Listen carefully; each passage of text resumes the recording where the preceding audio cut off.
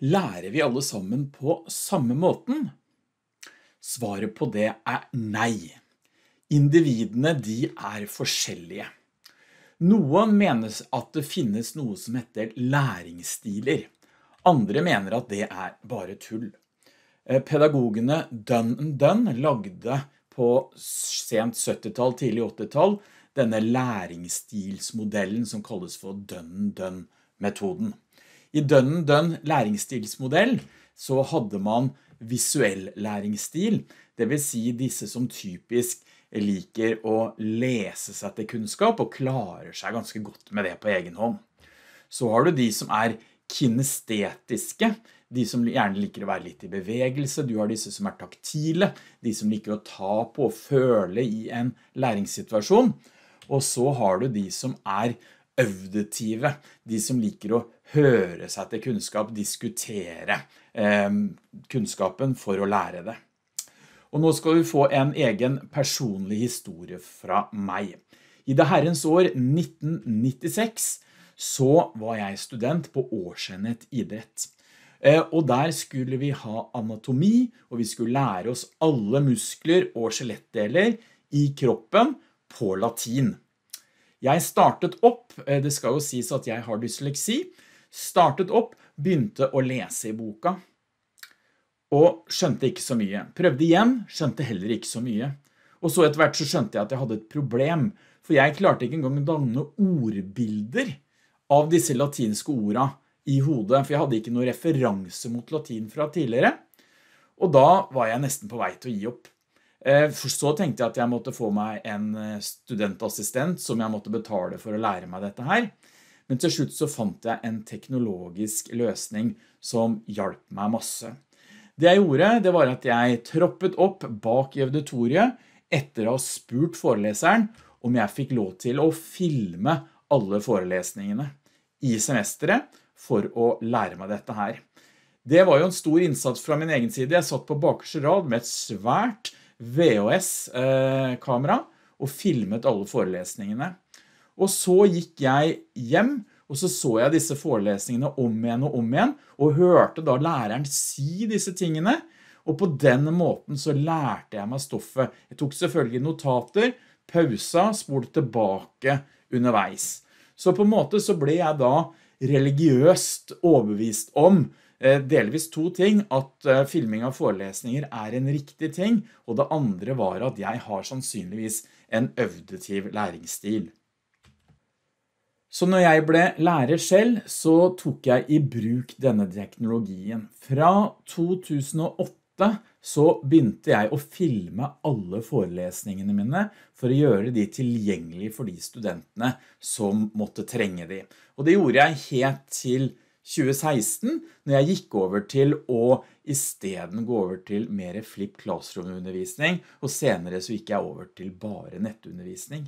Men jeg tenker sånn at uh, hvis vi tar fram dette bildet, så er det sånn, hvorfor i all verden kaste en forelesning som kanskje en tredjedel, en fjerdedel av studentene våre har en kjempenytte av senere? Jeg ble etter hvert involvert masse nasjonalt i forskjellige sammenhenger på forelesningsopptak, og det man så på alle universiteter og alle høyskoler, det var at når det nærmet seg eksamen, så gikk bruken av forelesningsopptak skikkelig til værs. Det viste seg at studentene brukte forelesningene for å repetere inn mot eksamen, og da langt fra bare de som har en auditiv læringsstil. Det vi så, det var jo at de fikk mer ut av forelesningene nærme eksamen enn underveis i semesteret. En problemstilling for alle oss som underviser, det er jo at vi ønsker at studentene skal forberede seg for undervisningen, men alt for få gjør det. Når de kom til eksamen, da hadde de lest fagpensumet, og da fikk de på en måte også mer ut av forelesningene. Og veldig mange, de sa at de spurte tilbake og så vanskelige ting om igjen. De pauset forelesningene for å ta notater. Jeg har fått en del tilbakemelding fra studentene mine at når de fikk eh, forelesningsopptak så digget de det mer enn det med de vanlige forelesningene, for i de vanlige forelesningene kunne de ikke pause foreleseren for å ta notater. Hvis de ikke skjønte noe, så kunne de ikke spole tilbake for å ta det en gang til. I 2013-2014 så skrev jeg min masteroppgave som hadde tittelen «Hvordan opplever studentene lærerens egenproduserte videoer som læringsressurs?» Og i denne masteroppgaven, som du ser en link til en videooppsummering på bånd av siden her, så så vi selvfølgelig på forelesningsopptak, men vi så også på korte filmer, så det er sagt. Vi gikk gjennom eh, åtte grupper på fem forskjellige universiteter og høyskoler, som hadde tilgang til stor grad av videobasert undervisning i det semesteret de var inne i. Og det vi så, det var at konklusjonen, den var jo at faktisk hele 90% var svært fornøyd eller fornøyd med bruk av video i undervisningen. Det vi også fant ut, det var at eh, hvis de skulle få velge hvilken type undervisning de skulle ha, så var det kun 4% som valgte bare den tradisjonelle. Og det vi så var den absolutt mest dominante, som var nesten tre fjerdedeler, det var en kombinasjon, det vi da ofte kaller for blended learning. Det at en kombinasjon av face-to-face -face klasseromsundervisning og at en del undervisning, gjerne da formidlingsdelen, skjer på video.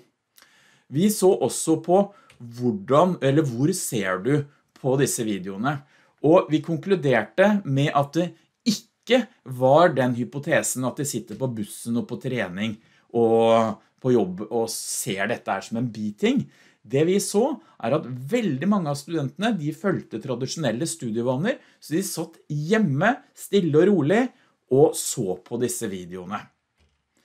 Vi så også på hvilke devices de brukte, og da så vi at i veldig liten grad så var det at de satt og så på smarttelefoner. Veldig mange brukte PC-er, eh, eventuelt nettbrett, til å se på disse filmene.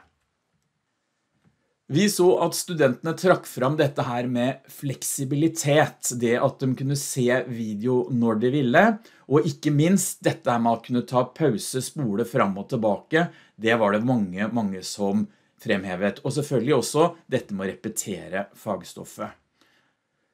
Vi stilte studentene spørsmålet hvordan opplever du ditt læringsutbytte av vært gjennom bruk av video som læringsressurs?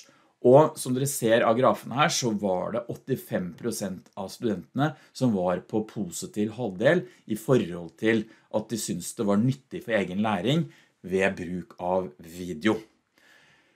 Til slutt i masteroppgaven så lagde vi en eh, modell som skulle vise bruk av video, og det sier jeg er helt klart vår egen modell. Og der vil jeg bare til slutt si at forelesningsopptak, det var jo den nederste nivået. Jeg mener at hvis du holder en forelesning, så bør du gjøre opptak. Men studentene liker enda bedre hvis du lager kortere, dedikerte videoer. Og så kan du også bruke kortere dedikerte videoer der du faktisk stiller en del kontrollspørsmål i multiple choice, kanskje etter video. Og så har vi dette nivået som heter adaptiv læring, og det betyr jo at du får sånn kunstig intelligens, eh, big data, at eh, studenten blir presentert for det læringsobjektet som den lærer best på, basert på erfaringer fra tidligere bruk. Og det betyr for eksempel, da, hvis vi setter meg tilbake i tid igjen, så ville et godt adaptivt læringssystem, den ville presentert videoer for meg for at jeg skulle lære et fagstoff godt.